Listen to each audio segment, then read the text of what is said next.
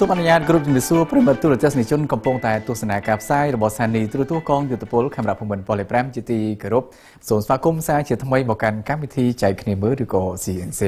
បើកម្មវិធីរបស់យើងគឺជួបគ្នាចាប់ពីវេលាម៉ោងនេះតទៅយើងក៏មានធ្វើការចាក់ផ្សាយឡើងវិញជូនទស្សនាផងដែរ នៅរាត្រីថ្ងៃអង្គារវេលាម៉ោង10ដល់ម៉ោង11យប់ជំរាបសួរទស្សនិកជនកំពុងទស្សនាតាមរយៈបណ្ដាញសង្គម Facebook ផងដែរបាទជួយ share ម្នាក់មួយផងដែរទស្សនិកជនដើម្បីនឹងគេថាបានទិន្នន័យល្អល្អបានគេថាការចែកម្លែកល្អៗទៅកាន់អ្នកដែលយើងបានស្គាល់ផងដែរជឿជាក់ថាប្រធានបទដែលយើងផ្ដល់ជូនថ្ងៃនេះគឺពិតជាគួរឲ្យចាប់អារម្មណ៍ដោយសារយើងជ្រើសរើសយកប្រធានបទមួយទាក់ទងជាមួយនឹងគេហៅថាការរកស៊ីទៀតហើយប៉ុន្តែការរកស៊ីមានច្រើនបែបច្រើនសន្តានមែនទែនបើយើងនិយាយពីម្ហូបអាហារគឺជាតម្រូវការចម្បងគឺជាតម្រូវការចាំបាច់ ជាទីបំផុតពីព្រោះថាមនុស្សគ្រប់គ្នាត្រូវការអាហារដើម្បីញ៉ាំមួយថ្ងៃ3ពេលជាមធ្យមទជនឬក៏ជាទូទៅ3ពេលដូច្នេះគឺគឺជាប្រភេទអាជីវកម្មមួយដែលសម្បូរដែលហៅថាសហគ្រិនគាត់តែចង់រកស៊ីមែនទែនប៉ុន្តែថ្ងៃនេះយើងលើកយកប្រភេទអាជីវកម្មម្ហូបអាហារនេះដើម្បីនឹងមកគេថាបកស្រាយរយៈពេល1ម៉ោងឯនោះនៅវគ្គកិច្ចសម្ភាររបស់ខ្ញុំបាទផងដែរទជនមុននឹងទៅដល់វគ្គកិច្ចសម្ភាររបស់ខ្ញុំបាទជាមួយនឹងវាគ្មិនគិតយូយើងបានត្រៀមនៅវីដេអូឃ្លីបខ្លីមួយផងដែរដើម្បីនឹងបង្ហាញត្រួសត្រាសខ្លះៗជាមួយប្រធានបទនិងតាក់ទងជាមួយនឹងវាគ្មិនកិត្តិយសផ្ទាល់តែម្ដងមុននឹងទៅដល់វគ្គកិច្ចសភាយើងក៏សូមគោរពអញ្ជើញទស្សនាខ្សែវីដេអូឃ្លីបខ្លីនេះជាមុនសិនបាទសូមជើញទស្សនា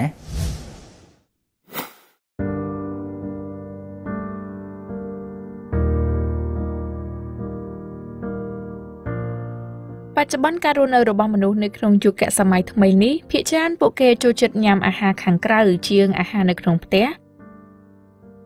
ជាពិសេសពួកគេពេញនិយមទៅលើអាហារដែលមានរសជាតិប្លែកថ្មីហើយមានតម្លៃសមរម្យនិងឆាប់រហ័សអាស្រ័យហេតុនេះហើយទើបការប្រកបនៅអាជីវកម្មអាហារមានការរីកលូតលាស់យ៉ាងខ្លាំងហើយហាងថ្មីថ្មីជាច្រើនកំពុងតែបើកដំណើរការជាបន្តបន្ទាប់ជាក់ស្ដែងនៅក្នុងសប្តាហ៍នេះកម្មវិធីចែកគ្នាមើលឬ Scientia បានអញ្ជើញម្ចាស់អាជីវកម្មអាហារមួយកន្លែង ដែលកំពុងតែមានឈ្មោះបោះសម្លេងនិងទទួលបានការគ្រប់គ្រងខ្លាំងពីអតិថិជន ដើម្បីមកជជែកពិភាក្សាក្រោមប្រធានបទអាជីវកម្មអាហារសូមទូរទស្សនិកជនអញ្ជើញតាមដានទស្សនាដូចតទៅ។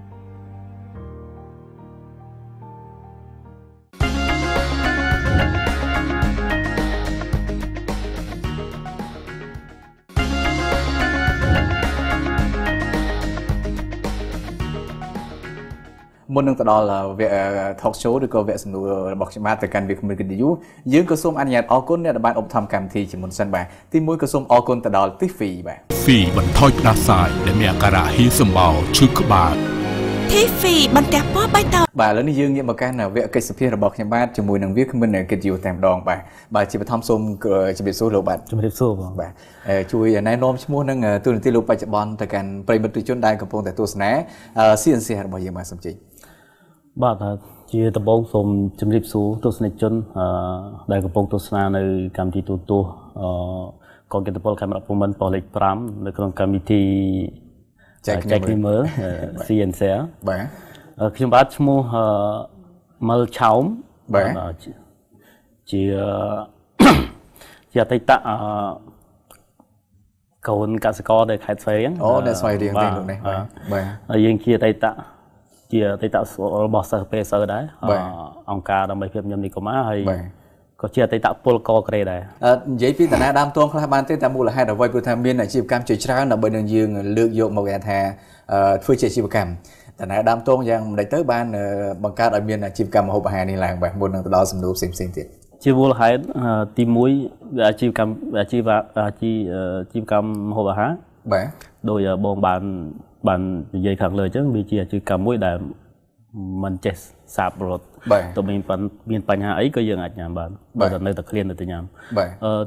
ទី2វាជាក្តីស្រឡាញ់ហើយក្តីសម័យវាបូកជាមួយនឹងយើងមានជំនាញចុងភៅនៅអឺយើងឆ្លងកាត់ការបណ្ដុះបណ្ដាលផ្នែកចុងភៅពីសាលាអូបានន័យថាពេលដែលលោកនៅជាសិស្សនិស្សិតគឺរៀនជំនាញផ្នែកម្ហូបអាហារផ្នែកម្ហូបអាហារតែម្ដងអូបាទ ចឹងតាក់ទងជាមួយនឹងជំនាញយើងដែរលោកណាបាទអញ្ចឹងបច្ចុប្បន្នដំណើរការអាជីវកម្មអ្វីខ្លះទៅបាទចង់ដឹងមែនទែនទូជនក៏ចង់ដឹងផងដែរបាទសប្តាហ៍នេះយើងដំណើរការតែអឺផ្នែកម្ហូបអាហារមួយទេគឺហាងស៊ុបក្រហមយើងនៅបាក់ស៊ុបក្រហមបាទអូបាទបង្កើតឡើងនៅឆ្នាំណាទៅបាទអាជីវកម្មស៊ុបក្រហមរបស់លោកនេះស៊ុបខំយើងបង្កើតនៅឆ្នាំ2019បាទខែខែខែ10ដែរខែ10បាទអញ្ចឹងគឺអឺថា2ឆ្នាំចុះណាលោកនេះបាទបាទមួយឆ្នាំជាងតែមួយចូលឆ្នាំចូលជាងចូលដល់ឆ្នាំទី2ហើយអូខេបាទបាទហើយការបង្កើតស៊ុបក្រហមនេះឡើងតើមានគេហៅថាការចូលរួមពីដៃគូណាខ្លះដែរឬក៏តែខ្លួនឯងតែម្នាក់តែម្នាក់ទេបាទបាទហើយយើងធ្វើតែម្នាក់ឯងបាទម្នាក់ឯងតែម្ដងពីមុនឡើងយើងធ្វើមានគ្នាពីរនាក់បាទអឺឥឡូវយើងនៅតែម្នាក់ឯងបាទចាំបានអឺវាគ្មិនកិត្តិយសរបស់យើងអឺមួយនោះគឺអតីតពលករដែរ តែគាត់ទៅធ្វើខាងកសិកម្មអញ្ចឹងទៅបាទតើតាក់ទងជាមួយនឹងការងារនៅកូរ៉េដែរទេបានជាលោកមកស្រុកខ្មែរវិញសម្រាប់ចិត្តអឺគេថាបើកអាជីវកម្មផ្នែកម្ហូបអាហារនេះបាទបើយើងការទៅឲ្យកូរ៉េនោះយើងឲ្យថាពាក់ព័ន្ធទៅកូរ៉េយើងមានយើងមានពាក់ព័ន្ធខ្លះដែរអឺយើងទៅកូរ៉េយើងធ្វើជាខាងកសិកម្មទេបាទអឺក៏តែប៉ុន្តែយើងមានឱកាសមួយយើង part time សតទៅអីយើងនៅខាងពុជនីឋានបាទបាទយើងមានឱកាសអាប់ដេត ផ្នែកម្ហូបអាហារយើងរហូតយើងមើលគេយើងរៀនសូត្រពីគេអញ្ចឹងណាយើងបានរៀនសូត្រ đây រហូតអញ្ចឹងបាទការចាប់ដើមស៊ុបក្រហមនេះដំបូងក្នុងទ្រង់ទ្រាយបែបណាទៅបាទលក្ខណៈគ្រួសារឬក៏យើងត្រូវប្រើផ្ទះខ្លួនឯងឬក៏ជួលទីតាំងគេក៏កើតដំបូងឡើយគ្រាន់តែជាយើងជួលផ្ទះគេដែរប៉ុន្តែតូចមួយដែរទេបាទអឺយើងមានបុគ្គលិកខ្លះពីរនាក់ទៅហើយយើងមានប្អូនមានអីនៅក្នុងហ្នឹងដែរបាទជាជាលក្ខណៈគ្រួសារបាទអឺផងដែរបាទអឺ សម្រាប់គំនិតដំបូងផ្ទាល់គឺការការនៃជំបង្កើតអាជីវកម្មតាក់ទងជាមួយនឹងគឺអឺ concept មុននេះបាទដើមទុនហើយមានអូខេការអ្នកចូលរួមអឺ3យ៉ាងហ្នឹងតើអ្នកណាជាអ្នកចូលរួមខ្លះឬក៏គ្រប់ខ្លួនឯងគឺទាំងអស់រ៉ាប់រងតែម្ដងបាទបើនិយាយទៅអឺយើងអ្នកអ្នកស្រាប់រងទាំងអស់អូបាទយើងជាអ្នកមាន concept អឺឲ្យឲ្យវាដំណើរការស៊ុបក្រហមហ្នឹងបាទហាងស៊ុបក្រហមហ្នឹងយើងអ្នកមាន concept ឲ្យវាវាចេញមកបែបហ្នឹងបាទហើយយើងអ្នកច្នៃម្ហូប បាទយើងជាចុងភៅយើងច្នៃម្ហូបយើងរៀបចំយើង decor ហាងអីហ្នឹងបាទបាទហ្នឹងបាទអឺតើលោករៀននៅអឺជំនាញនៅនោះអឺបានន័យថាជាជាចុងភៅឬក៏ក៏ជាយ៉ាងម៉េចដែរជាចុងភៅចុងភៅតែម្ដងអូខេអញ្ចឹងចេះធ្វើម្ហូបច្រើនមែនតើហើយដំណើរដើមទងហេតុអីបានដាក់ឈ្មោះថាស៊ុបក្រហមនេះប្រកាសជាមានអត្ថន័យអីព្រោះយើងជាម្ចាស់ហើយចង់ដឹងមែនតើស៊ុបក្រហមទីមួយអឺស៊ុបក្រហមឈ្មោះស៊ុបក្រហមមួយនេះវាវាថ្មីហើយបាទ និយាយវាព្រោះដែរពីរោះដែរបាទហើយស៊ុបរបស់យើងយើងមានស៊ុបអឺស៊ុបយើងក្រហមមែនស៊ុបក្រហមមែនទឹកទឹកហ្នឹងគឺពណ៌ទឹកក្រហមស៊ុបហ្មងក្រហមហើយរាងខាប់បន្តិចអូវាវាជាទឹកស៊ុបមួយថ្មីអឺប្លែកហើយ កូនកាត់ខ្មែរកូរ៉េកូនកាត់ខ្មែរកូរ៉េមិនមែនខ្មែរចំទេហើយក៏មិនមែនកូរ៉េចំទៀតធ្លាប់ឮតែយើងគឺយើងធ្វើថ្មីមកបាទនេះម្ហូបកូនកាត់ណាបាទបាទធ្លាប់ឮតែយើងកាត់សះនេះសះនោះមនុស្សបាទថានេះមកម្ម្ហូហូបបវាកាកាត់ត់កូនម្ហូបកាត់ក៏មានដែរកាត់ដែរបាទហើយតាក់ទងនឹងការជួលទីតាំងគេដំបូងហ្នឹងតើយើងនិយាយពីផលលំបាកខ្លះដែរអឺអ្នកផ្ទះគាត់គ្រប់គ្រងដែរទេហើយនៅការសម្រេចចិត្តឈានទៅដល់ជួលហ្នឹងតើយើងមានមានជំនឿចិត្តដូចម្ដេចទៅពីព្រោះថាការរស់ស៊ីមានតែពីរឯងបើមិនខាត់ចំណេញ បាទពេលនោះបាទអឺអ្នកផ្ទះទាំងទាំងទាំងប៉ាទាំងម៉ែអឺប្អូនអីចឹងគាត់បាទអត់អត់ជំទាស់ទេអូបាទធម្មតាយើងយើងបងគេហើយយើងឆ្លងកាត់ច្រើនគាត់ស្គាល់យើងបាទ មានន័យថាយើងជាកូនជាបងបាទហើយយើងធ្លាប់គេថាឆ្លងកាត់បញ្ហាបានបញ្ច្រើនហាបានច្រើនអូខេហើយយើងមិនសូវជាមានបញ្ហាឲ្យក្រុមគ្រួសារទេបាទអញ្ចឹងបាទទៅពេលហ្នឹងទឹកមាត់យើងរៀងប្រៃដែរគួរសមគួរសមដែរណាបាទបាទហើយដំណើរការដំបូងហ្នឹងគឺពិបាកស្រួលយ៉ាងម៉េចទៅបាទពីព្រោះថាយើងថ្មីធម្មតាគេមិនទាន់ស្គាល់យើងទេបាទយើងនិយាយថាឧបសគ្គចុះបាទអូខេអឺដំណើរការដំបូងយើងលំបាកច្រើនអាទី1យើងយើងត្រូវធ្វើយ៉ាងម៉េចឲ្យភ្ញៀវគាត់បានស្គាល់បាទអឺ យើងគ្រប់គ្រងសេវាកម្មអីផ្សេងផ្សេងៗហើយអឺបញ្ហាជាមួយនឹងទុនបាទដើមទុនបាទអូខេបាទអឺយើងដំបងឡើងអ្វីក៏យើងមិនតបានរៀបចំល្អទេបាទអឺទាំងទាំងអឺសេវាកម្មទាំងផ្នែកចុងភៅអីយើងមិនតបានល្អច្រើនបាទតើតោះមួយស៊ុបក្រហមមកលោកតើមានអ្វីគេក្រៅមានមានអ្វីខ្លះឧទាហរណ៍ថាម្ហូបអាហារមានច្រើនមុខតើស៊ុបក្រហមហ្នឹងក្រៅពីស៊ុបក្រហមហ្នឹងមានអីខ្លះដែរមានក្រៅពីនោះអឺយើងនិ យាយហៅស៊ុបក្រហមមួយនេះយើងមានទីមួយមីស៊ុបក្រហមមីស៊ុបក្រហមអឺមីយើងមានច្រើនប្រភេទដែលយើងមានមីមីសួរមីអីចឹងទៅបាទយើងមានមីរបស់យើងផ្ទាល់ហើយនឹងមានមីកូរ៉េមួយទៀតមីកូរ៉េមួយទៀតអូខេហើយនៅក្នុងហ្នឹងយើងមានបាយបាយបាទបាយអឺមាន់គីមឈីអញ្ចឹងឥឡូវកំពុងល្បីអូអូខេហើយមានមាន់បំពងបែបខ្មែរកូរ៉េរសជាតិស៊ីអូរសជាតិភ្នំពេញអញ្ចឹងណាបាទអូខេហើយមានភេទជាអីខ្លះៗដែរអូបាទអ នេះគឺជា product របស់យើងសិតតែកូនកាត់ទាំងអស់ណាមន់ក៏នៅក្នុងនឹងនៅក្នុងនឹងកូនកាត់ទាំងអស់កូនកាត់ទាំងអស់ណាបាទបាទហើយវាវារហូតទៅដល់80%គឺគឺរសជាតិថ្មីនៅក្នុងហ្នឹងបាទបាទន័យថាប្រភេទដែលម្ហូបអាហារមន់ក្តីឬក៏បាប្រយភេទមីក្តីប្រភេទមីបាយក្តីអីអូខេហាងផ្សេងផ្សេងៗរសជាតិគឺខុសពីយើងខុសយើងយើងខុសពីយើងអូខេយើងខុសពីគេខុសពីគេហ្នឹងបាទ ដើមបង្កើតហាងស៊ុបក្រហមចេញដំបូងហ្នឹងគឺយើងមានទាំង4 5មុខហ្នឹងមកឬក៏យើងផ្ដើមដំបូងមានតែប្រហែលមុខទេពេលនោះត្បូងឡើងយើងលក់ទៅស៊ុបមួយលក់តែស៊ុបទេស៊ុបមីស៊ុបយើងនឹងឬក៏ហ្នឹងមិនបាទយើងអត់ហ៊ានអចាប់ផ្ដើមច្រើនបាទព្រោះចាប់ផ្ដើមច្រើនយើងត្រូវអឺចំណាយច្រើនយើងទិញសម្ភារៈប្រើច្រើនអញ្ចឹងអឺ step ដំបូងយើងលក់តែមីស៊ុបឯងបាទបាទអឺបន្ទាប់បន្ទាប់មកបានយើងចេះតែ update មកទៅយើងធ្វើឲ្យវាមានបាយថ្មីមកភ្ញៀវគាត់ មានបាយដែរបាទគាត់ចូលចិត្តបាយបាទហើយយើងមានមន់ពងសម្រាប់អឺសម្រន់អញ្ចឹងដែរបាទបើនិយាយពីការរកស៊ីអាជីវកម្មវិញយើងប្រកាសជាគិតទៅដល់ចំណុចនៃការធ្វើទីផ្សារហាងដំបូងបើកនៅឆ្នាំ2019បណ្ដាញសង្គមចាប់ដើមមានហើយបាទបាទតើលោកយុទ្ធសាស្ត្រទីផ្សាររបស់លោកយ៉ាងម៉េចទៅព្រោះហាងយើងដំបូងដំបូងអញ្ចឹងគេមិនស្គាល់បាទបាទដំបូងយើង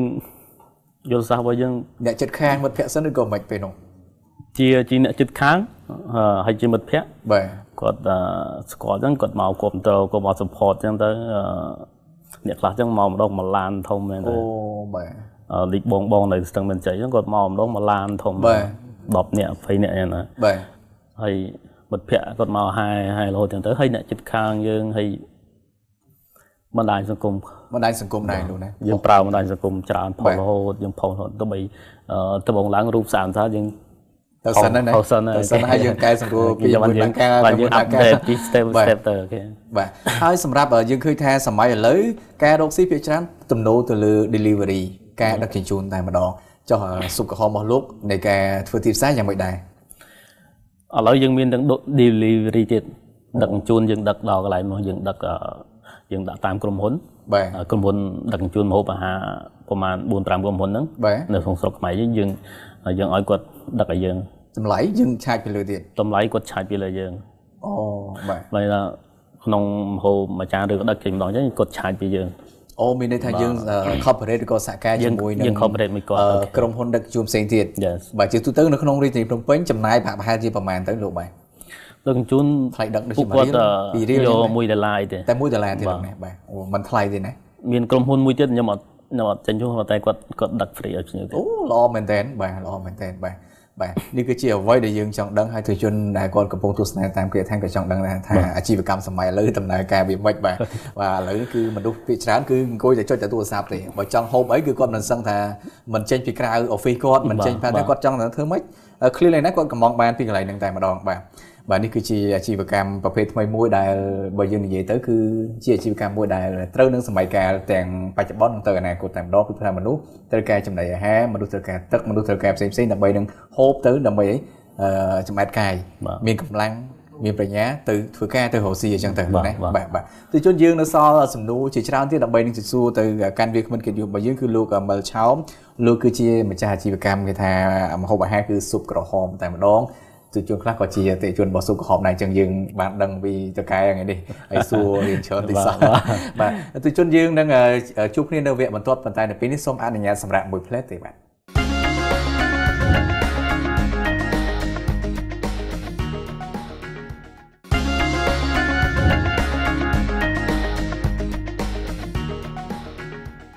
បាទស្វាគមន៍មកកាន់វគ្គបន្តនៅក្នុងកម្មវិធីចែកគ្នាមើលឬក៏ CNC សម្រាប់វគ្គទី2នេះមុននឹងទៅដល់កិច្ចសម្ភាររបស់ខ្ញុំបាទឬក៏វគ្គ talk show ជាវគ្គបន្តនេះអនុញ្ញាតអរគុណទៅដល់អ្នកបានឧបត្ថម្ភកម្មវិធីជាមុនសិនបាទសូមអរគុណទៅដល់ទឹកពិសាបរិសុទ្ធលីយ៉ុងនិយមបរិសុទ្ធជីវិតស្រស់ថ្លាអឺលោកអឺមលឆោមមុនហ្នឹងយើងបានបាទនិយាយគ្នាច្រើនគូសំអំពីតែអាជីវកម្មម្ហូបអាហារតែម្ដងហើយលោកគឺដាក់យីហៅគឺស៊ុបក្រហម អញ្ចឹងលោកអាចនិយាយថាបើយើងមិញនេះគឺ product របស់លោកដូចជាប្រមាណប្រភេទដូចជា4 5ដែរលោកណាប្រភេទ4ប្រភេទ4ប្រភេទលោកណាបាទបាទប្រភេទណាមួយដែលគិតថាអឺ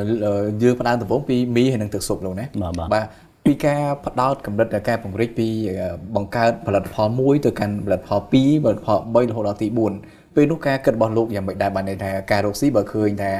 តម្រូវការអតិថិជនកើនឡើងពេលខ្លះបើយើងពង្រីកទៅតើថែមបុគ្គលិកឬក៏យ៉ាងណាដែរ នៃផ្នត់កម្រិតរបស់លោកដែលជាម្ចាស់អាជីវកម្មតែម្ដងណាដំណើរការបាទនោះបាទបាទ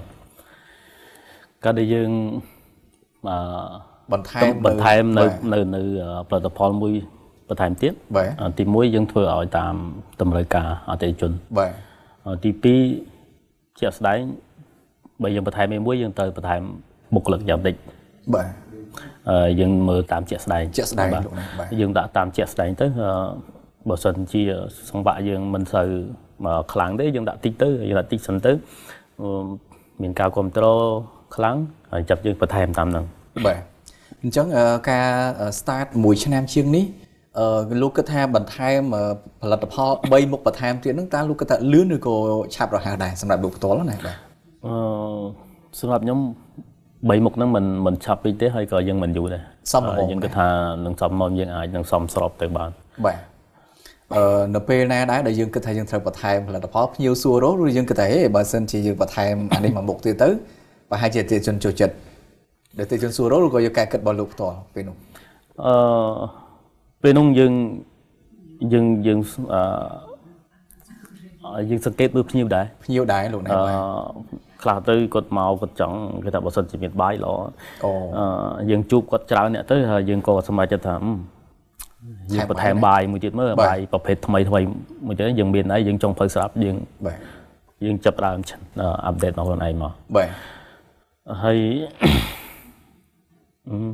ហើយតកតងជាមួយនឹងធម្មតាទាំងយើងទាំងគេខ្ញុំបាទចូលទៅកន្លែងហូបអីមួយបើមនុស្សយើងច្រើនមុខរៀងមានមានអារម្មណ៍ចង់ទៅដែរអញ្ចឹងណាបាទបាទបាទបើមិនរៀងចូលកន្លែងមួយមនុស្សមាន2 3មុខអាហ្នឹងចាប់ដើមឆ្ងល់ហើយក៏គេសួរអញ្ចឹងទៅអឺប៉ុន្តែលោកនិយាយថារសជាតិរបស់លោកគឺខុសពីគេ បាយរបស់លោកគឺមិនបានខុសគេសបាយទូទៅណាគេក៏មានបាយដែរតែលោកថាខុសគេយ៉ាងម៉េចទៅបាទអឺហេតុអីបានយើងហ៊ានថាខុសគេអឺបាទទី1យើងយើងស្គាល់ម្ហូបច្រើនអូបាទអឺទាំងម្ហូបទាំងម្ហូបចិនទាំងម្ហូបអអាស៊ីអឺរ៉ុបម្ហូបខ្មែរអឺម្ហូបកូរ៉េបាទហើយអ្វីដែលយើងធ្វើអឺគឺរូបមន្តថ្មីមួយបាទដែលយើងយើងកំបាញជាមួយនឹងអឺខ្មែរជាមួយនឹងកូរ៉េ បើនៅគ្រឿងផ្សំគ្រឿងគ្រឿងទេសគ្រឿងទេសគ្រឿងផ្សំខ្មែរនិងកូរ៉េអូខេអូបាទអញ្ចឹងរសជាតិប្រកាសជាខុសគេប្រកាសជាខុសគេបាទអឺសម្រាប់គេថាមិញយើងនិយាយពីថាទីផ្សារយើងដឹកជញ្ជូនបាទអឺដំបូងឡើយយើងគិតថាទីផ្សាររបស់លោកនិយាយចំទៅការរកស៊ីពេលខ្លះសម័យថ្ងៃនេះមិនថាតែម្ហូបអាហារគឺផ្ដោតអតិថិជននៅខាងក្រៅបាទតែសម្រាប់សុខភាពរបស់លោកអតិថិជនលោកផ្ដោតទាំងពីរឬក៏យ៉ាងណា អឺមកដល់ឥឡូវនេះយើងបដោតទាំងពីរបាទយើងបដោតខ្លាំងទាំងពីរអឺទាំងនៅក្នុងនៅក្នុងហាងភ្ញៀវទៅផ្ទាល់អឺភ្នៀវទៅផ្ទាល់ហើយនឹងបាទអឺដឹកជញ្ជូនបាទរហូតដល់ពេលខ្លះអឺយើងមាន free time យើងដឹកភ្ញៀវដឹកឲ្យភ្ញៀវខ្លួនឯងក៏មានបាទហើយយើងដឹកឲ្យភ្ញៀវខ្លួនឯងក៏មានយើងឲ្យបុគ្គលិកដឹកក៏មានបាទអឺ តាមក្រុមហ៊ុនអញ្ចឹងទៅបាទសម្រាប់ការទីផ្សារដែលភាគច្រើនយើងឃើញកលិថាឥឡូវនេះបាក់បណ្ដាញសង្គមជួយច្រើនណាស់ណាបាទបាទយើងមានផ្លេចរបស់យើងអញ្ចឹងទៅបើគេកំងគេតាក់ទងយើងផ្ទាល់ហើយបាទបាទអញ្ចឹងនៅពេលដែលក្រុមហ៊ុនតាក់ទងផ្ទាល់មកន័យថាដំបូងឡើយគាត់ជាបុគ្គលិកម្នាក់ឯងឬក៏ពីរនាក់ឯងបាទតែបើសិនជាដឹងថាក្រុមហ៊ុននឹងច្រើនតែយើង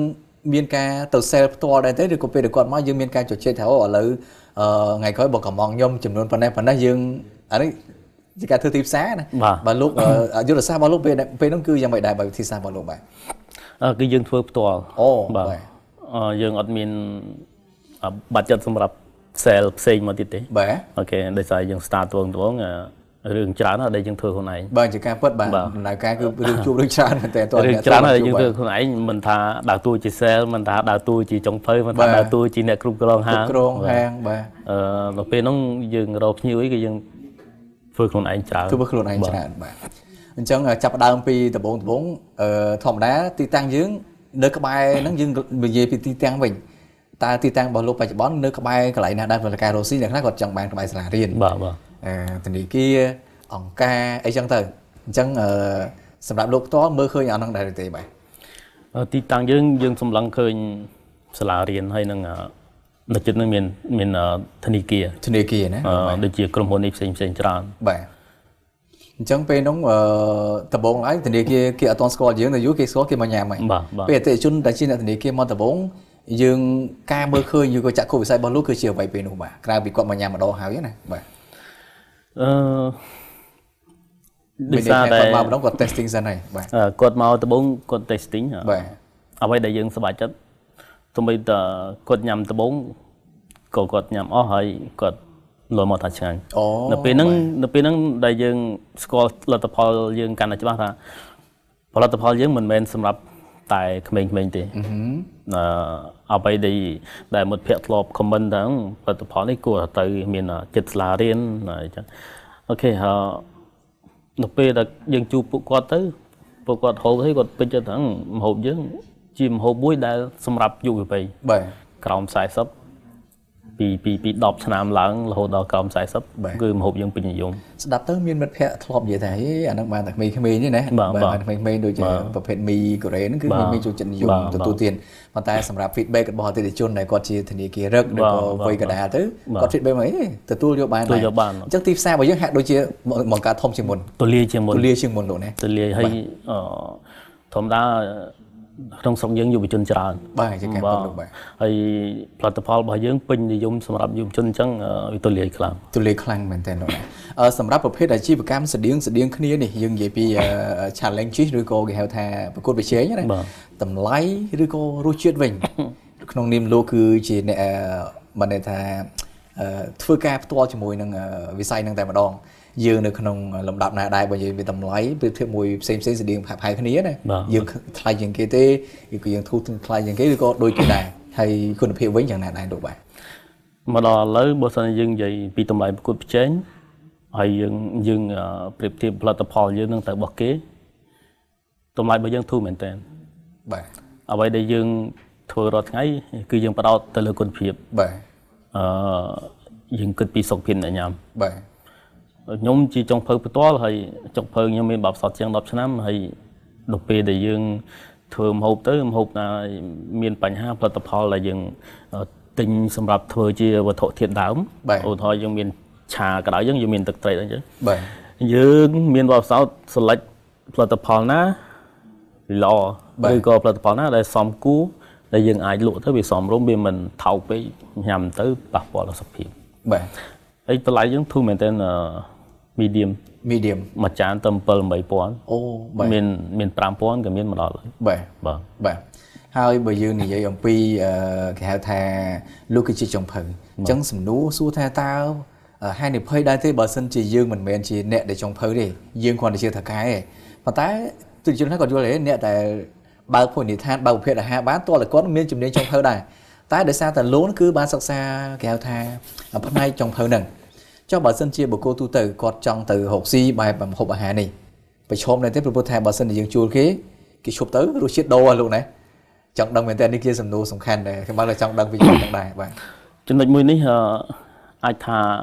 ក្រៅក៏គុកដែរក៏តែស្លាប់រស់លោកនេះក៏អាចថាក្រៅក៏គុកដែរខ្ញុំជួបម្ចាស់ហាងច្រើនគាត់ត្អូញតែពីរឿងហ្នឹងបាទអឺគាត់ថាចុងបើគោអូខេអឺ នៅពេលដែលចុងភៅគោម្ហូបយើងនឹងមានបញ្ហាបាទខុសរសជាតិប្រៃលឺតយឺតលឿនអីចឹងណាបាទអឺមានបញ្ហាដែរបាទមានបញ្ហាដែរមិនមិនខ្ញុំបកសេះថាអត់មានទេមានគួសមដែរបាទវាវាទៅស្រោមសោបជាមួយនឹងយើងជាម្ចាស់ហាងហ្នឹងយើងយើងគ្រប់គ្រងចុងភៅបែបម៉េចបាទយើងដឹងខ្លះទេយើងដឹងពី បើយើងអត់ចេះចម្អិនម្ហូបទេប៉ុន្តែយើងយើងដឹងពីរបៀបគ្រប់គ្រងនៅក្នុងក្នុងចក្រានផ្ទះបាយហ្នឹងខ្លះទេម្ហូបណាគេទុកមិនអាសាច់ណាគេទុកមិនយើងដឹងខ្លះអត់ទេបាទហើយយើងនឹងកុំហោកចុងភៅអត់អូបាទយើងយើងយើងនឹងយើងជាអ្នកដឹកនាំហ្នឹងយើងយើងសម្រួលដល់ការងារគាត់អត់បាទបាទ អញ្ចឹងទី1គឺយើងត្រូវមិនថាមិនយល់បែប100%ក៏ព្យាយាមយល់លំនាំព្យាយាមយល់លំនាំតិចម្ដងលោកណាបាទទី2តកតងជាមួយនឹងគេហៅថា management របស់យើងដែរតើប្រស័យតកតងមួយពួកគាត់គាត់សប្បាយចិត្តទេជាមួយយើងទេអញ្ចឹងលោកណាប៉ុន្តែបើសិនជាយើងនិយាយអំពីអ្នកដែលគាត់មានសមត្ថភាពធ្វើឆ្ងាញ់ធ្វើឆ្ងាញ់អញ្ចឹងគាត់អាចបើសិនជាគាត់ទៅណាមួយគាត់គាត់គាត់ហាងហ្នឹងចុងភៅថាគាត់គោដូចលោកនិយាយអញ្ចឹងហ្នឹង អត់ខ្ញុំទៅហាងហ្នឹងប្រហែលជាមានបញ្ហាហើយព្រោះរសជាតិគឺហាងហ្នឹងចឹងហើយទី2ទៀតហាងឥឡូវគឺមានសាខាបច្ចុប្បន្នលោកមានសាខាប៉ុន្មានសាខាហើយបាទយើងមានតែមួយទេហើយយើងគម្រោងបរិយមួយទៀតបាទឆាប់ឆាប់អញ្ចឹងតាក់ទងជាមួយហ្នឹងគឺបញ្ហាតទៀតហើយព្រោះតាក់ទងមិញរឿងចុងភៅលោកណាបាទប៉ុន្តែលោកប្រកាសជាន័យថាផ្ដល់នៅតែចម្លើយមួយដែលទស្សជនគាត់ឆ្ងល់ហ្នឹងគាត់លោកប្រកាសជាបកស្រាយបានលោកតែខ្លួនឯងតែចុងភៅបច្ចុប្បន្នលោក រាប់ដងតឯងឬក៏មានចុះកូនកំបត់ដែលអាចថារសជាតិហ្នឹងអាចថាស្នងលោកបានដែរឬក៏ហាក់ហែគ្នាដែរទេបាទអឺស៊ុបក្រហមរាល់ថ្ងៃអឺទៅបីខ្ញុំអត់នៅក៏គាត់ធ្វើរសជាតិដូចគ្នាបាទមូលហេតុបាទអាជីវកម្មយើងយើងមិនមែនធ្វើអាជីវកម្មបែបគ្រួសារអឺបែបបាទពីពីបុរាណមកទៀតទេបាទអឺអាជីវកម្មយើងយើងធ្វើបែបថ្មីអឺយើងមានរូបមន្តក្នុងដៃបាទហើយយើងទៅបីយើងមកនៅ គាត់អាចធ្វើបានដូចយើងបាទមានន័យថារាល់គ្រឿងផ្សំគ្រឿងទេសឬក៏គេថាអឺអឺវត្ថុធាតុដើមដែលធ្វើឲ្យចេញជាម្ហូបអាហារចំណីអាហារហ្នឹងលោកបានអឺប្រាប់ទៅកាន់គេឲ្យយល់ពីយើងដែរអូខេមិញអឺស្ដាប់លោកលើកឡើងជួយចង់គិតដល់សំណួរមួយទៀតហើយ តើអាជីវកម្មបែបបុរាណចាស់ចាស់តាលោកយាយពីដើមគាត់ធ្វើមកវិញទៅលោកបានចង់ដឹងវិញទេបាទយើងយើងនិយាយទៅថាអឺអាជីវកម្មបុរាណវាមិនល្អប៉ុន្តែយើងមិនសំដៅទៅអញ្ចឹងទេជាការពិតលោកបាទអឺយើងគាត់ទៅធ្វើការយកមកគេថា sharing ឬក៏រោគចំណុចវិជ្ជមានបាទយើងអ្វីដែលយើងធ្វើរាល់ថ្ងៃយើងយើងមានអាបុរាណហ្នឹងវាបូកមកជាមួយអាយើងធម្មតាយើងធ្វើអ្វីក៏ត្រូវតែមាន update ថ្មីមកបូកផ្សំជាមួយនឹងអ្វីដែលចាស់បាទបើមិនអញ្ចឹងទេយើងធ្វើតែតតែដដែល អាចវាអនឹងត់វាអាចនឹងមានបញ្ហាមានខ្លាំងបញ្ហាអូបាទខេបាទអញ្ចឹងចាស់ពីដើមគឺគាត់ព្យាយាមបើនិយាយពីវាភោជនីយដ្ឋានមួយអឺបច្ចុប្បន្នខាងខ្លះយើងកលេចគ្នានៅតែរក្សាដដែលទេសូម្បីតែទឹកស៊ុបប្រមាណឬគ្រឿងផ្សំប្រមាណឬក៏ចានឆ្នាំងច្រានបាយគឺអត់ឲ្យគេទៅហ្មងបើអាហារនឹងឆ្ងាញ់បាទអាកន្លែងច្រានបាយនោះគឺដូចសម្ងាត់មែនតើអូខេប៉ុន្តែការស៊ុបក្រហមរបស់លោកអញ្ចឹងដែរឬទេបានន័យថាខ្លាចគេ copy រសជាតិដែរទេបាទលោកអឺដោយសារតែយើងយើង ដំណើរការសុខមយើងយើងចង់ធ្វើឲ្យវាវាទៅជា franchise បាទហើយគោលបំណងយើងយើងធ្វើឲ្យ franchise បាទគោលដៅយើងដល់បែបនេះយើងយើងអាចបែករូបមន្តបានទេលាក់ដែរលោកណាអឺនិយាយទៅយើងយើងលាក់បើយើងជាការមិនលាក់ពិតទេបាទវាវានឹងមានបញ្ហាជាការពិតបាទបើបើសិនជាយើងក៏លេចឃើញហាងកាហ្វេមួយចំនួនអឺប្រភេទជា soft drink ដែរបាទបាទការដឹកក៏ដូចដូចគ្នាអញ្ចឹងអូខេបាទណាបុគ្គលិកក៏ដូចដូចគ្នាដែរប៉ុន្តែ franchise លោកថារសជាតិវិញ ខ្ញុំគិតថាបើសិនជាវាគ្មិនខ្លះហើយឬក៏អ្នករកស៊ីខ្លះគាត់ថារសជាតិគេអាច copy បានប៉ុន្តែអា technique ឬក៏អាផ្សេងផ្សេងទៀតគេអាច copy បានទេអញ្ចឹងអ្វីដែលលោកមានបំណងពង្រីកទៅ franchise លោកផ្អែកទៅលើកត្តាអ្វីទៅអញ្ចឹងបាទលោកបាទអឺបន្ទាប់ពីអឺយើងយើងយើងគិតថាយើងធ្វើវាអត់ឲ្យបែករូបមន្តបាទអឺយើងគិតថាយើងអត់ឲ្យគេ copy បានបាទប៉ុន្តែអ្វីដែលទាំងអស់ហ្នឹងគេគេអាច copy បានដូចបងនិយាយចឹងបាទ គ្រាន់តែវាមិនទាំងស្រុងជាវាការមិនពិត100%បាទអត់ទៅជាមួយនឹងទាំងអឺទាំងស្វាកម្មបាទអូខេទាំងអឺទាំងការរៀបចំហាងទាំង decor បាទយើងយើងត្រូវតែ update វារហូតបាទហើយធ្វើការគ្រប់គ្រងឲ្យបែបឲ្យវាមាន system ទៅទៅតាមនោះបាទបច្ចុប្បន្នលោកមានមួយសាខាបើសិនជានៅក្នុងគម្រោងការផែនការអាជីវកម្មរបស់លោកថ្ងៃទី1លោកចាប់ផ្ដើម អឺលោកមានកំណត់ថាពង្រីកវាឲ្យច្រើនសាខាតាំងពីថ្ងៃទី1ឬក៏ចាប់ផ្ដើមមានកំណត់ពង្រីកសាខាទី2ហ្នឹងអឺក្នុងកំឡុងណាមួយនៃការធ្វើអាជីវកម្មនោះយើង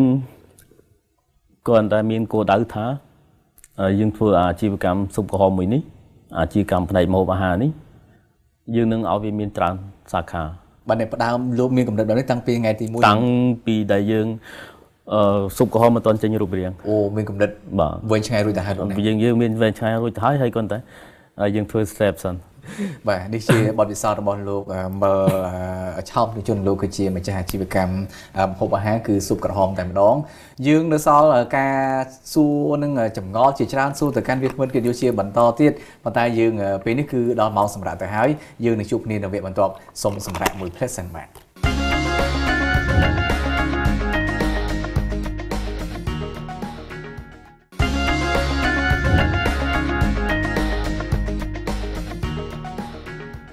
បាទស្វាគមន៍មកកាន់វគ្គចុងក្រោយសម្រាប់កម្មវិធីចែកគ្នាមើល CNC របស់យើងបាទទៅពេលវេលាចិត្ត1ម៉ោងបានអឺចិត្តផុតហើយប៉ុន្តែបន្តផុតទេយើងនឹងជូនមួយវគ្គចុងក្រោយទៀតទីជនមុននឹងទៅកាន់អឺវគ្គអឺគេថាសំណួរចម្លើយជាបន្តទៀតនេះអឺខ្ញុំបាទសូមអរគុណអ្នកដែលបានឧបត្ថម្ភកម្មវិធីផងដែរអរគុណទៅដល់ Neo ទីកាបាំប្រើនីអូទីកាបាំជាប្រចាំដើម្បីឲ្យសាច់ដុំដំណើរការបានល្អនិងជួយបំបត្តិការឈឺចាប់និងក៏សូមអរគុណបន្តទៅកាន់ Prim Nobo ហ្វូមលាងមុខធម្មពលធម្មជាតិទន់ល្មើយស្អាតឥតខ្ចោះហ្វូមលាងមុខព្រីមណូបូយើងបន្តជាមួយនឹងអឺបាទសំណួរទៀតហើយបាទបាទយើងក៏លើកឃើញថាឆ្នាំ2020នេះគឺជាបដិវត្តន៍ឧស្សាហកម្ម4.0ដើរតួពេញលេញតែម្ដងអូខេប្រភេទអាជីវកម្មជាច្រើនបានផ្លាស់ប្ដូរខ្លួនយ៉ាងឆាប់រហ័សពីព្រោះថាបើមិនផ្លាស់ប្ដូរទេគាត់អាចនឹងយឺតជាងគេឬក៏អតិថិជនរបស់គាត់នឹងត្រូវបានគេដណ្ដើមយកតែម្ដង សម្រាប់វិស័យឬក៏អាជីវកម្មម្ហូបអាហាររបស់លោកមាននិយាយថាភាពវៃឆ្លាតឬក៏មានការសម្របខ្លួនបែបណាដែរដើម្បីនឹងឈានចូលទៅក្នុងបដិវត្តឧស្សាហកម្ម4.0នេះបាទជាក់ស្ដែងអាជីវកម្មរបស់យើងបាទយើងយើងយើងអាប់ដេតឬក៏យើងកែប្រែឬក៏យើងអភិវឌ្ឍមកដល់ឥឡូវយើងយើងយើងយើងចូលទីផ្សារនឹងបានច្រើនបាទអឺយើងយើងលក់ទៅក្នុងហាង យើងយើងដឹកឲ្យអតិថិជនដល់កន្លែងបាទហើយយើងផ្សព្វផ្សាយតាមបណ្ដាញសង្គមបាទអូខេយើងយើងមានផ្សព្វផ្សាយជាជា tablet បាទអូខេបាទនឹងហើយបើយើងមិនព្រមធ្វើអញ្ចឹងទេអាជីវកម្មយើងនឹងមានបញ្ហានឹងមានបញ្ហាលោកនេះបាទអឺសម័យនេះអតិថិជនគាត់មានលុយហើយគាត់មានជំរើសច្រើន ពាក្យហ្នឹងមានន័យមែនតើគឺពាក្យហ្នឹងមិនន័យស្ដាប់ទៅងាយមែនបើស្ដាប់ទៅមានអត្ថន័យច្រើនណាស់មានអត្ថន័យមែនតើហើយត្រូវការពេលវេលាច្រើនដើម្បីបញ្យល់អតិថិជនមានលុយហើយគាត់មានជំរើសបាទគាត់មានជំរើសយ៉ាងម៉េចអាជីវកម្មម្ហូបអាហារមួយជំរើសច្រើនមែនតើហាងច្រើនបើកច្រើនម្ហូបមានច្រើនឬថ្មីចាស់ម្ហូបរសជាតិបែបថៃបែបកូរ៉េបែបខ្មែរយ៉ាងម៉េចបាទទោះបីអាជីវកម្មផ្សេងក៏អញ្ចឹងបើសិនជាយើងមិនព្រមអភិវឌ្ឍមកអញ្ចឹងទេអាជីវកម្មយើងភ្ញៀវអត់អាច ចាំទៅដល់ហាងទេពេលខ្លះគាត់រវល់ធ្វើការគាត់គាត់ចង់ហូបអ្វីដែលគាត់ធ្លាប់ហូបហើយគាត់នៅឃើញចង់តែគាត់រវល់បាទគាត់រវល់បើយើងមិនព្រមធ្វើដឹកឲ្យគាត់គាត់អត់អាចមកញ៉ាំបាទជាការពិតបាទអញ្ចឹងយើងបានវិវត្តខ្លួនមកយ៉ាងយ៉ាងច្រើនគួរសមដែរលោកនេះបាទយើងវិវត្តមកច្រើនមែនតើរហូតដល់ពេលខ្លះយើងដឹកឲ្យភ្ញៀវខ្លួនឯងភ្ញៀវថាបងដឹកមកខ្លួនឯងបាទ បងមកដឹកមកខ្លួនឯងបុគ្គលិកគាត់រវល់របស់គាត់គាត់ធ្វើការងារគាត់ផ្សេងផ្សេងទៅយើងមានពេលយើងដឹកមកសម្រាប់ការដឹកជញ្ជូនដល់ទីតាំងទីកន្លែងផ្ទាល់នេះបើយើងនិយាយពីផលិតផលផ្សេងផ្សេងវាអត់ប៉ះពាល់ជាមួយនឹងគុណភាពទេប៉ុន្តែបើមហូបអាហារជាទូទៅគេចូលចិត្តបែបក្តៅក្តៅលោកណាបាទតើអ្វីទៅដែលភាពភាពវៃឆ្លាតឬក៏វិធីសាស្ត្ររបស់លោកផ្ទាល់ដើម្បីរក្សាគុណភាពរក្សារសជាតិព្រោះថាបើសិនជាទីតាំងគេទៅញ៉ាំផ្ទាល់អត់អីទេលើកពីលើកពីចក្រានបាយមក ភ្ញៀវអាចបានរសជាតិថ្មីក្តៅក្តៅចុះសម្រាប់គេហៅថាការដឹកជញ្ជូនវិញបាទលោកអ្វីនេះជាយើងយកចិត្តទុកដាក់មែនតើទី1យើងមានធុងសម្រាប់រក្សាកម្ដៅអូមានបាទធុងដឹកជញ្ជូនយើងហ្នឹងអឺមួយទៀតយើងយើងលោកលៃពេលវេលាមិនបើផ្សោតខ្ញុំតខ្ញុំខ្ញុំសួរថាបងតនេម៉ោងម៉ានឬក៏បងអាចញ៉ាំម៉ោងម៉ានខ្ញុំអត់ឲ្យខ្ញុំលៃធ្វើម៉េចអឺ ឲ្យទៅដល់កន្លែងបងបានមកតិចតួចទៅបងចាប់ដើមញ៉ាំបាទធម្មតាបាយតើវាត្រជាក់ទៅវាទៅជាបាយកកបាយកកបាទបាទបាទហើយចង់មិនចង់គុណភាពដែលយើងមាន100%ត្រូវធ្លាក់ត្រូវធ្លាក់ហើយបាទអត់ឆ្ងាញ់បាទអញ្ចឹងយើងយើងយកទៅដាក់កន្លែងហ្នឹងទៅយកទៅដាក់កន្លែងហ្នឹងដែរលោកណាបាទអឺសម្រាប់គេថាអតិថិជនធ្លាប់មានបញ្ហាដែរឬទេបើភាគច្រើនគាត់កំងទៅគាត់ថារសជាតិដូចផ្លាស់ប្ដូរឬក៏យ៉ាងណា ហើយជួបបញ្ហានឹងដែរឬទេបាទបញ្ហាមួយនេះអឺគ្រប់ហាងគឺមានមកនេះថាមិនមែនតែយើងទេមិនតែយើងអឺប៉ុន្តែជាហាងដែលយើងចាប់ដើមដំបូងបាទឬក៏ហាងដែលយើងចាប់ដើមយូរហើយប៉ុន្តែគាត់អាចថាខ្វះចន្លោះក្នុងការគ្រប់គ្រងអញ្ចឹងទៅចុងភៅគាត់អត់ស្រួលខ្លួនអីចឹងទៅអូខេប៉ុន្តែ មកដល់ឥឡូវយើងសុខភាពយើងយើងជាយាមធ្វើមែនតើទាំងរូបមន្តទាំងអីទាំងអស់ហ្នឹងបាទហើយយើងឆែកជាមួយគាត់រហូតអញ្ចឹងមកដល់ឥឡូវយើងអត់មានបញ្ហាហ្នឹងទេលែងមានបញ្ហាហ្នឹងទេបាទគាត់ចង់ញ៉ាំរសជាតិហ្នឹងថ្ងៃក្រោយគឺទៅទៅចឹងទៀតបាទសម្រាប់4ផលិតផលបច្ចុប្បន្ននេះលោកគិតថាទុកប៉ុណ្ណឹងសិនឬក៏នឹងត្រៀមចេញទៀតហើយមើលតើបាទសម្រាប់សុខហមព្រោះថាអាចជាអតិថិជន កំពុងតែទស្សនាតកែកំពុងតែមានប្រសាសន៍អញ្ចឹងហេសុខហមខ្ញុំកំងរាល់ថ្ងៃទៅមាន4មុខអញ្ចឹងនឹងមានថ្មីទៀតអត់បាទមកដល់ឥឡូវយើងយើងមាននៅក្នុងដៃបាទប៉ុន្តែយើងមិនទាន់បានបញ្ចេញទេអូកំពុងតែ processing នោះណាយើងយើងកំពុងតែឲ្យច្បាស់ថាចេញមកគឺគឺល្អសិនបាទទី1ទី2អឺយើងយើងចាំមើលអតិថិជនគាត់គ្រប់ត្រូវបានទាំងច្រើនតិចសិនយើងយើងបញ្ចេញមកមានអាស្រ័យមានបញ្ហាឬក៏ យើងយើងបញ្ចេញមកគាត់ទៅត្រូវការតែម្ដងជាការពិតបើន័យថាពុយផ្សាយម្ហូបអាហារនេះបើយើង research សិនភ្ញៀវមកគាត់អាចសួររយមាននេះអត់មានដល់យើងសំច្រើនទៅច្រើនទៅ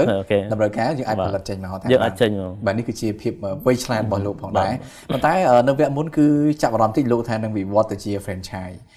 ការបង្កើត franchise មួយគឺលោកគិតថាងាយស្រួលដែរទេហើយបើសិនជាមិនងាយស្រួលតើបញ្ហាអ្វីខ្លះដើម្បីនឹងវិវត្តខ្លួនទៅជា franchise បានបាទអាជីវកម្ម franchise មួយ វាវាមិនស្រួលទេអឺ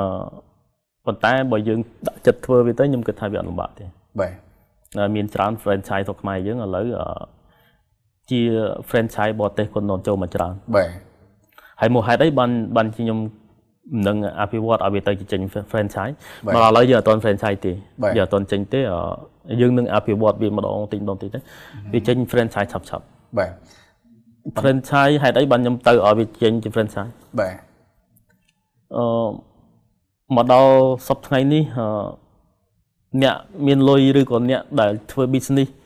ច្រើនណាស់នៅក្នុងស្រុកខ្មែរយើងទិញ franchise បរទេសមកមក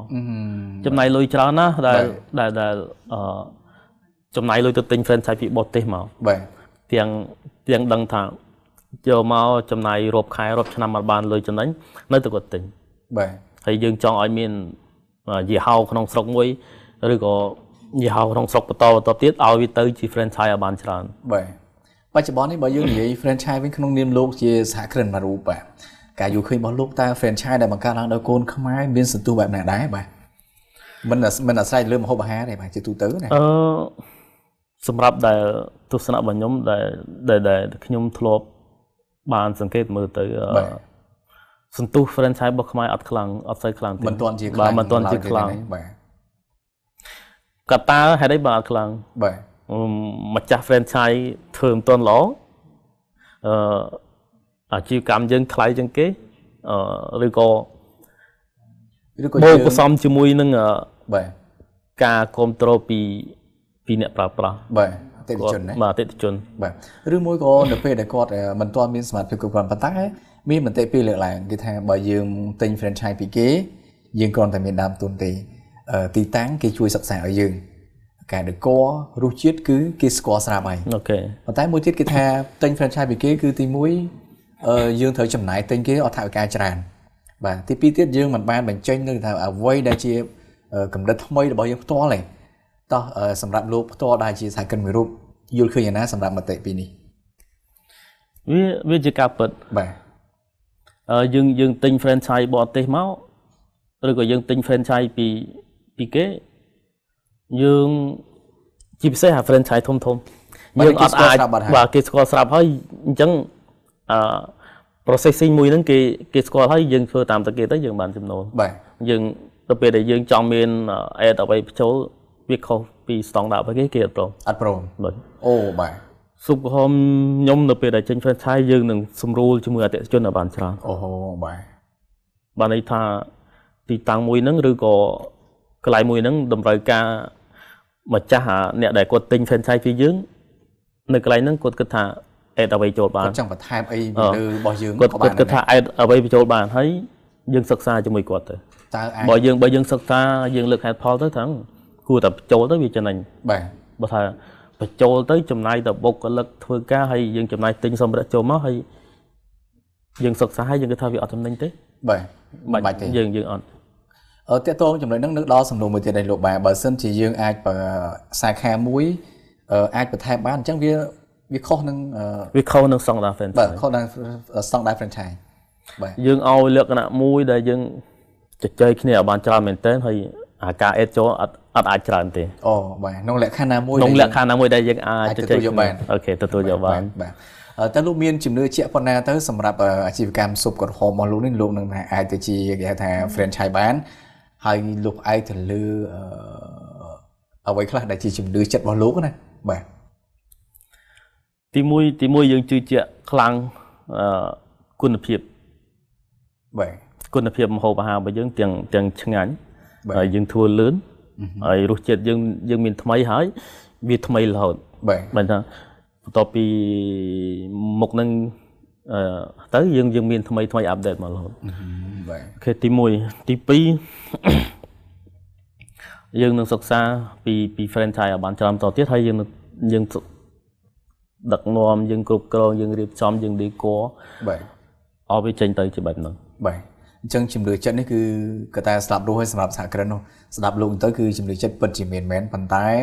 ដើម្បីចេញ franchise បានយើងគិតថា4ផលិតផលនេះ អាចចេញបានឬក៏លោកនឹងបន្ថែមប្រភេទជា drink អីបន្ថែមទៀតដែរសម្រាប់ជាលោកផ្ទាល់